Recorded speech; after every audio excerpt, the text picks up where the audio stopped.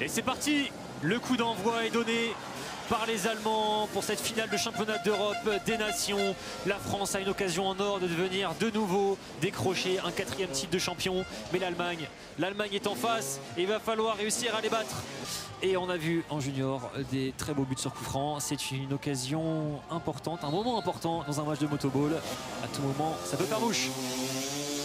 Schmitt qui s'avance et une belle frappe et le but Ouais voilà Et voilà, c'était ce qui était à craindre, effectivement. Oh, Entame en feu des Allemands. Oh, ce pointu 42. surpuissant de Max Schmitt qui vient mettre tout le monde d'accord et faire comprendre que les Allemands sont venus en tant que poseurs de clim à Ougatz. Ils sont venus pour repartir champions et ils ont bien l'intention de ne pas se laisser faire. On a eu l'occasion de le voir un petit peu sur euh, en handball. On, on joue aux alentours de la surface de réparation. Une belle percée là de, de Quentin Flores. Il y a une première intervention justement. Et je pense que Quentin la frappe directement. Ah, c'est dommage, il a été cadré, c'était bien Oh fait. Allez, il a de la place sur Quentin Flores là-bas. Et une frappe. Et oh, c'est dommage.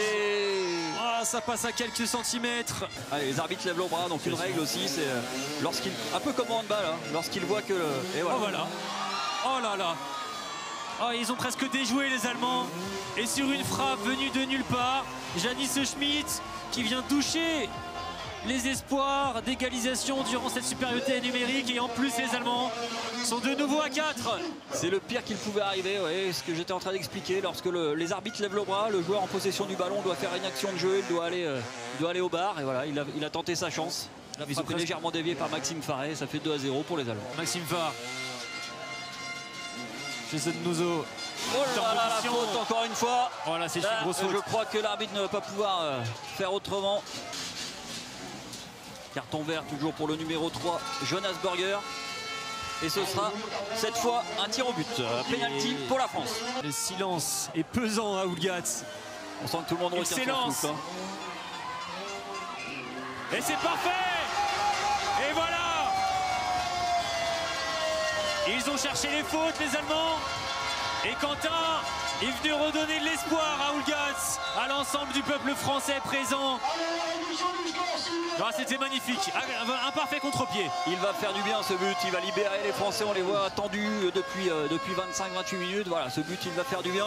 Muzo qui, qui s'élargit pour essayer d'ouvrir le jeu, d'attirer un peu les, les Allemands, qui ne demandent pas l'hameçon décidément, qui reste bien agglutiné au centre et une belle euh, transmission. Oh, c'est dommage. Attention, euh, parce que là, ça va ferait mal avant la mi-temps. Janice Schmidt qui s'élance. Oh, la barre transversale. Oh, elle est pleine barre, cette, euh, cette frappe de Janice Schmidt. Ils sont décidément euh, très, très, très dangereux, les Allemands. Allez, Campin qui va tenter. Est-ce qu'il y a la possibilité? Allez, voilà Elle est au fond Oh, celle-ci a fait plaisir Campin qui vient de débloquer la situation Et là, et là, on peut vous dire, mesdames et messieurs, que la physionomie de match, elle va le changer. Elle va passer du côté des Français. Parce qu'ils sont chez eux, ils ont couru après le score. Peu fourbe. Et là, ça va être pour les Français. C'est vrai qu'on a pris pas mal, pas mal de, de biscuits. Allez, c'est Louis Magnin qui s'y colle. Et le but Et le but de Louis Magnin Oh, Louis Magnin qui vient faire soulever l'ensemble du stade Toulgatz Oh, celle-ci Oh, celle finale S'ils vont au bout, elle sera Les Allemands sont beaucoup moins bien, beaucoup moins sereins, on le voit hein, dans leur attitude. Mais il est frappé parfaitement, il était totalement masqué. Le gardien allemand, Grusinger. Les Français qui n'ont jamais été aussi proches de gagner ce titre de champion d'Europe. On court après depuis 25 ans, ce serait une belle récompense. Allez Louis Magnin. Allez, c'est terminé. L'ont fait L'équipe de France est championne d'Europe. Après 25 ans d'attente Les hommes d'Olivier Bonjour qui viennent soulever le trophée.